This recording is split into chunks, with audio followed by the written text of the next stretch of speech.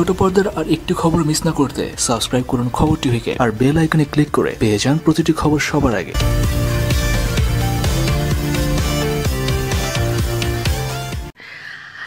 আমাকে নিয়ে লাক্সের আরেকজন, আমি ওনার নামটা উচ্চারণ করতে চাচ্ছি না।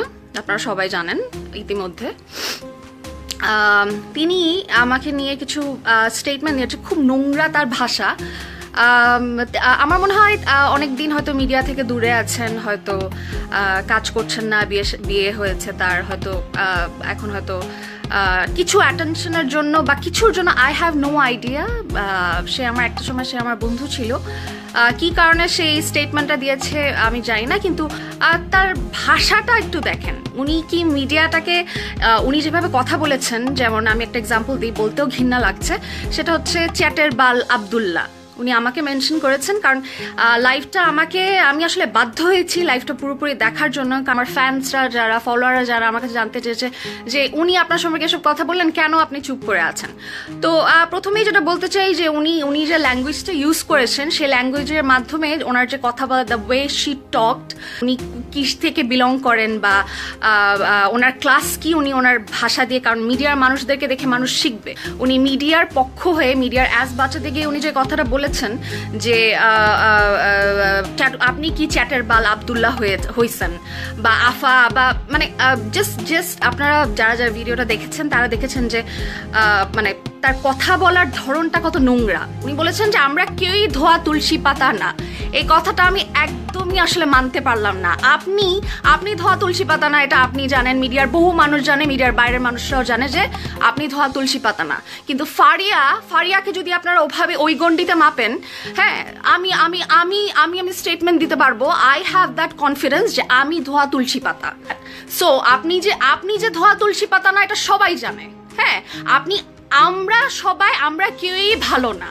আমরা সবাই, আমরা কেউই ধোয়া তুলসী পাতা না। সো আপনি আপনার গণ্ডির মধ্যে প্লিজ ফারিয়া শাহিনকে আনবেন না। কারণ আপনি কি করেছেন? আপনি ডিরেক্টর বলেন, আপনি চ্যানেলের প্রোগ্রাম হেড বলেন, আপনি গায়ক বলেন, আপনি তো সব সব সেক্টরে আপনার বিচরণ ঘটেছে।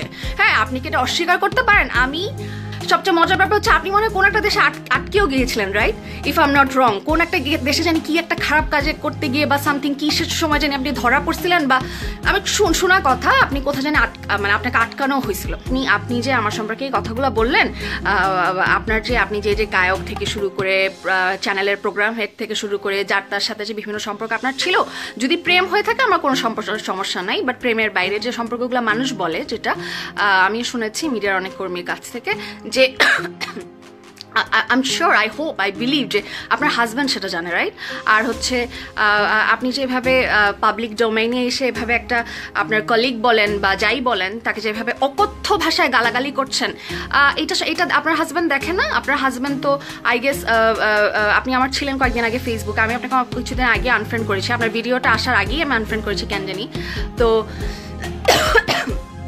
তো উনি দেখেন না যে আপনি এভাবে অকথ্য ভাষায় চ্যাটের বাল কোন চ্যাটের বাল এইসব এইসব নোংরা নোংরা নোংরা কথাবার্তা বলেন, উনি দেখেন না।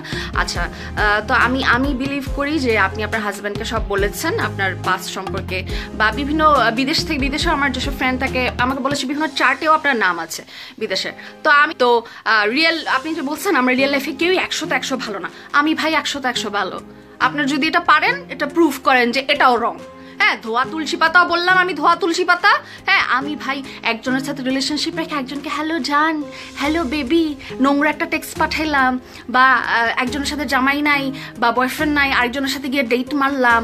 ও আচ্ছা আচ্ছা আপনি, কিন্তু আপনি যে আপনি যে আজে বাজে কথা বলেন যে মাথার মধ্যে এই না ওই না নোংরা নোংরা কথা বলছেন প্রিন্সেস ডায়না নাকি?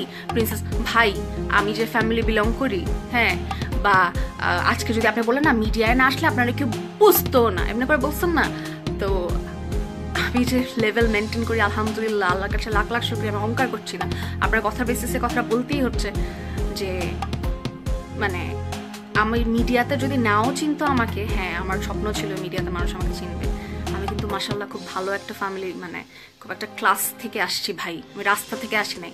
আপনাদের মতো গ্রাম থেকে এসে গ্রামকে আমি ব্যঙ্গ করছি না। কিন্তু হঠাৎ করে বোরখা পরে এসে হঠাৎ করে উলঙ্গ হয়ে নাচা শুরু করি নাই। হ্যাঁ একে থুতু ফেললে সেটা নিজের গায়ে পড়ে। তো আপনি আমার সম্পর্কে বলার আগে আপনার মিনিমাম তিরিশ বার চিন্তা করা দরকার ছিল। আমার প্রেমের বাইরে, আমার মিডিয়াতে দুইটা প্রেম ছাড়া, আমার সম্পর্কে একটা, আমি প্রেম ছাড়া আমার লাইফে মানে মানে আই ক্যান সোয়ার আপন গড যে প্রেম ছাড়া আমার লাইফে আমি কোনো বাজে কাজ, টাকার বিনিময়ে, কাজের বিনিময়ে কোনো শয়তানি, বদমাইশি আমি করি নাই। তো সেই দিক থেকে যদি সেটাই যেহেতু কথা হচ্ছিল, প্রেম যদি করা অন্যায় হয়ে থাকে, তাহলে আমি অপরাধী, তাহলে আমি খারাপ।